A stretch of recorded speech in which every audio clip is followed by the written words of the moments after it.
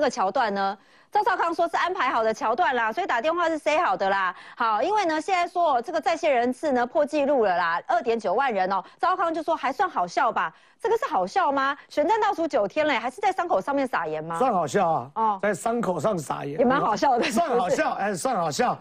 我的状况是这样，这个凯学院这件事哦，真的是要认真来认真以对哦，因为凯学院现在看起来不仅哦，不仅是单纯的所谓的暴力。它还有公安的问题，嗯，哦，钱跟生命是两回事哦，钱没了可以再赚，生命没了就真的没了。中国是这样子哦，其实这个内政部对对于像凯旋院这类的集合式住宅有非常严格的规范哦，比如内政部就有说，你看哦，集合住宅住宅任意住宅单位的一个楼层，只要分到六个。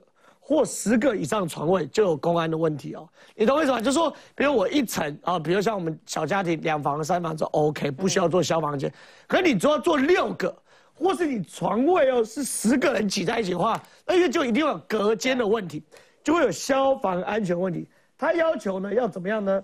每三百平方公尺，凯旋已经超过三百平方，三百平方公尺要一百平，这已经超过了。要多少？每两年做一次消防安检。哦，好，这确定了，法律是这样。可问题是哦，以凯旋院这个申报资料，一百零六年之后就没有再做检查了。所以这个东西哦，我们其实还不要进入到细节啊。我们光是看他到底有没有如实的去做所谓的申报安全，他就没有啊。嗯，因为你两年要查一次啊。一百零六年到现在多久了？对不对？这第一件事情。第二件事情啊，它有多少东西呢？第一个，走道，走道是一定要净空的。对，你走道不能堆放像这个东西，这叫衣橱嘛。你走道不能堆放衣橱嘛，影响逃生嘛。啊，这第一件事情。第二件事情呢，还有什么东西？这个，他说这个房门疑似非耐燃烧防火门窗。我跟你讲，不用疑似就一定不是嘛。嗯，有学生不在里面拍。那个拍手，我抠抠抠，隔壁都听到我在讲话。他那就是最廉价那种木板去隔的嘛，木板就不能防火嘛。我坦白讲，现在的救生安全观念都不一样哦，你知道吗？现在大家都告诉大家，尤其消防队，发生火灾，如果你住在正常公寓道，你知道第一件事不是往上跑，也不是往下跑，你都有机会被火烧到或或被烟呛到。你发生火灾，如果你家是正常的防火材质，关门躲在家里，嗯。然后把下面门缝封封起来，为什么？因为正常防火材质，即便火烧到你家前面，烧一两个小时不会烧穿的。可问题是你如果用那种木板钉一钉，请问你叫这些学生怎么办？嗯，硬着头皮要往上或往外跑嘛。嗯，那就可能会被浓烟呛到啊，往下走可能会被火烧到啊。还有呢，走道宽度，因为凯学院是属于 H 类的分类，要一百六十公分也没有嘛。然后呢，你房间。你不能只有烟雾侦测器啊，要洒水系统啊。你看，只有这个烟雾侦测器没有洒水系统啊。洒水烟雾侦测器是圆形，洒水系统是一根铁管。嗯，好，这个很很好分辨嘛，对不对？另外呢，它在里面还有什么东西？楼梯，楼梯宽度要一百二十公分啊，这也没有一百二十公分啊。然后呢，这个侯友谊说有赚一毛非法钱，他就退选。没有营业登记，所以等于是自己搬的就对了，是不是？你洗衣机是投钱的哦，所以钱是谁收？就洗衣机收啊。哦，洗衣机给谁啊？洗衣机收完就谁管理洗衣机收那个钥匙谁收啊？谁啊？没有营业登记。哎，那会不会又说是反正新光的时候没有这个公安？那一样啊，非法营业也是给给哦，退选哦，好退选，但有点严格，好有点严格。但问题就是，就侯友谊，你自己警察。我们常常讲警消警消，你对于消防安全一定有基本的认知嘛？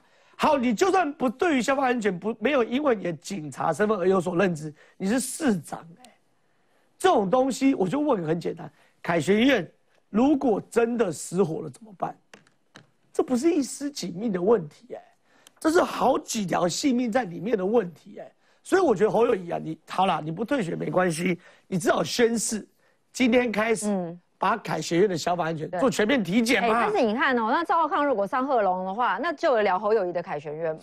两回事啊，真的是两回事啊。因为贺龙他敲敲边鼓嘛，他不是真的去针对议题去讨论核心议题嘛？你只要讲话现场有效，贺龙就给过嘛，对不对？可问题是，那我现在一条条指出来啊，你的门板厚度不够，楼梯宽度不够，走到堆放杂物，上面只有排烟没有排水，然后非法营业登记，请问你要怎么办？这东西都是赵少康面对的嘛？其实这个严炳立他毕竟是这个房地产的专家，那他讲了一些倒是可以补充一些当初在推侯康泰的时候可能不会有想到的一些东西和重点哦，后面的这样的如何防避。倒是我建议可以去请教一下这个严炳立先生，或者是像严炳立啊，或者财经界的这样的一个房地产的这个专家，都也可以请过来再去跟他们请教。也觉得不太好嘛，侯康贷？不会，我觉得侯康贷还是不错的政策，而且是利益良善。如果说侯康贷真的有什么问题，然后现在新青安绝对有问题。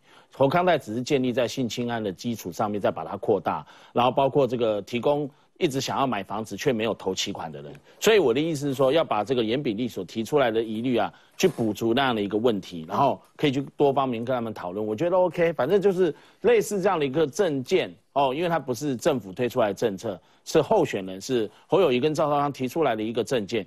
那你将来如果他们有机会当选的话，你要落实之前，你要把它变成政策之前，不妨跟这些财经专家严炳立啊，这个房地产这些。多听听他们的意见，去补足他那样的一个问题，我觉得未尝不是一个这个不好的事情。他讲了，包括十年的闭锁期啦，那五年的这样五年之后面临的这个贷款人的这个问贷款人会面临到的问题啊，利息等等，我觉得也不是坏事，可以去研究一下怎么办，怎么去进一步的处理。但这一个机制当初想要帮助年轻人，你买房没有投期款，一百一千五百万。你可以贷一百、两百、三百、四百、五百、六百、七百、八百、九百、一千、一千、一千二这样子贷到一千五，你可以根据你自己的条件，你能够还款的能力，你能够偿还的一个整个所有的里里外外，你自己做一个分析，然后你要贷多少，你再决定。那我就会觉得你这样讲法，就是候选人可以随便开支票，我再看看我当选之后要不要过，我再来修正嘛。不是候选人可以随便开支票，他毕竟他已经开出他的一个证件了，那证件的推出来，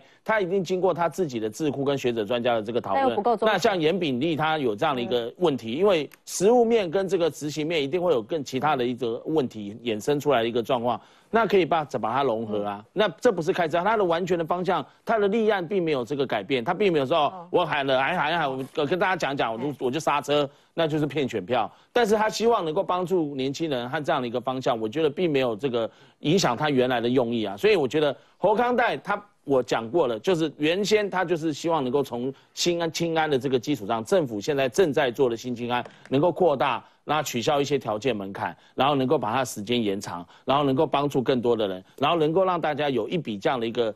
更更需要的钱去买这个房贷的头期款，买房子之前，在房贷之前的头期款先解决。至于刚刚你讲你们在讲的说那个呃凯旋苑的这个事情，凯旋苑它其实就跟一般我们在做建筑公安管理的不太一样，因为 H one H two 的分类，我们一般的旅馆还有这个饭店。他是那种短期旅客，他们要住宿的，所以要定期申报公安。凯旋院是属于那种长期的特定的这个人士，他所居住的地方是属于 H two。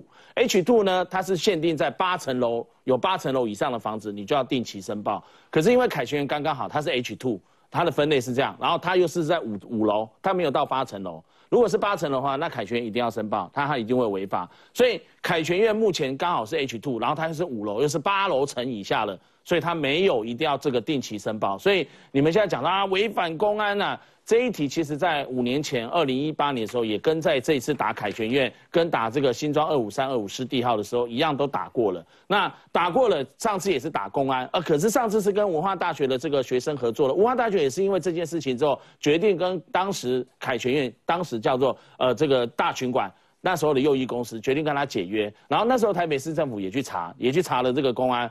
查了之后呢，后来一切都合法，然后包括在最后一次文化大学跟右翼公司解约之前，它的建筑的公共安全的这个管理公安也都是合法合规。所以今天又回过头来，除了这个打凯旋院它的一个房租问题，侯友谊该讲的也都说了，包括做青年住宅，剩下还没有租出去的五十二户，以及租已经租出去的四十七户，都要做青年住宅跟社会住宅，而且都要补贴房租从这个六千四到七千块不等。哦，根据他的这个整个条件门槛申请，所以。